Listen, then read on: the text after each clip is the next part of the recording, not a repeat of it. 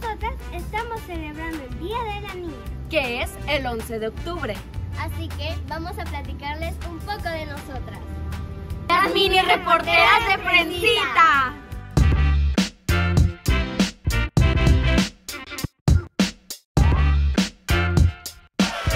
Yo soy Leslie Chafoya, eh, tengo 12 años y pertenezco a Jóvenes Talentos y soy mini reportera desde el 2022. Soy Valeria Recinos, tengo 9 años, soy mini reportera desde el 2021 y mi talento es que puedo bailar ballet. Hola, soy Grecia Castillo, tengo 14 años y mi super talento es que puedo actuar y puedo representar muchas cosas, muchas emociones por medio de la actuación y soy mini reportera desde el 2021. Hola a todos, yo soy Natalia Alfaro, tengo 9 años y mi talento es que me encanta escribir libros e historias. Yo soy mini reportera desde el 2021.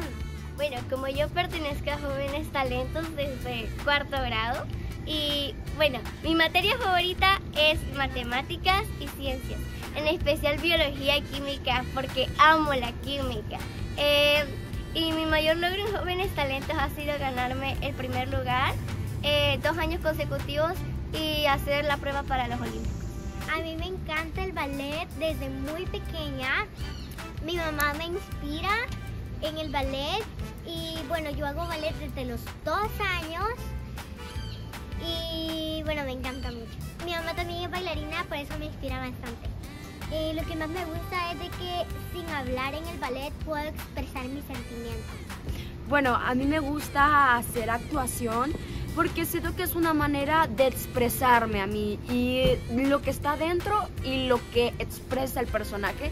Y también me, me, gusta mucho como la actuación de cine y creo que es algo como que he venido haciendo desde chiquita. Me acuerdo que yo iba al baño y, y fingía que estaba en una película y eso siempre me ha gustado.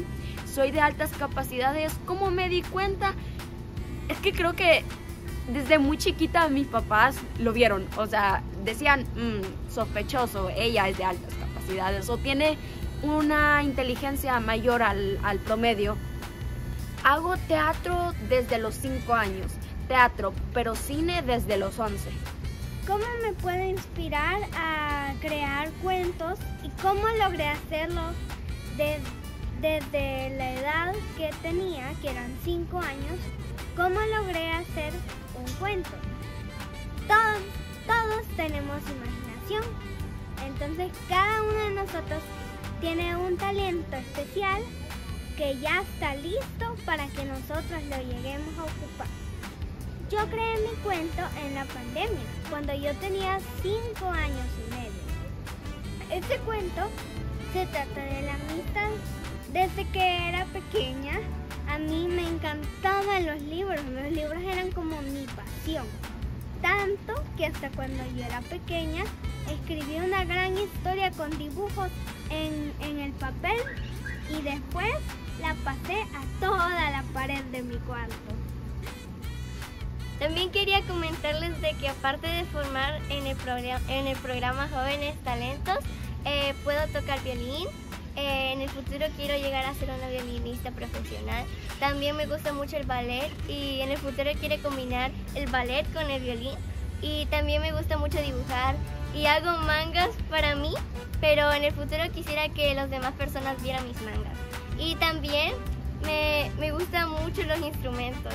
Sí me gustaría ser bailarina profesional. Yo creo que bailar es mi mejor talento porque es algo que me encanta y como lo practico desde los dos años, eh, siento que ahorita ya se hizo parte de mí.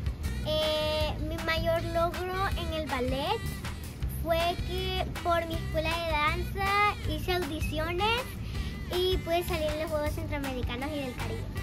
Mi mayor logro dentro del teatro, creo que todo, yo creo que todo lo considero como logro porque es pasito a pasito todas las oportunidades que voy teniendo paso a paso, voy construyendo y llegando más cerca de mis metas. Mi mayor logro ha sido que pude, que pude escribir mi propio libro. Siento que ese, ese ha sido de, de las mejores cosas que he hecho. Bueno, yo le diría a las niñas que quieren lograr grandes metas en el futuro, primero, su esfuerzo.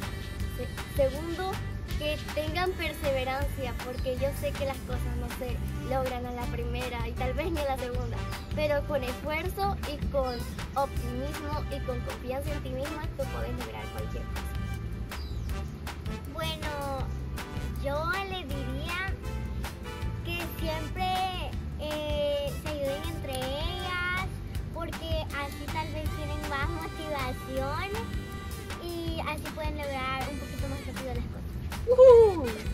sean positivas, porque muchos no le ponemos mucho enfoque al ser positivos, porque mientras más positivos seamos, está bien tener nuestro momento de tristeza, pero creo que también de ese momento de tristeza cambiar el chip a positivo, porque mientras más positivo, mejores cosas y oportunidades llegan a nuestra vida. Yo les diría a las niñas que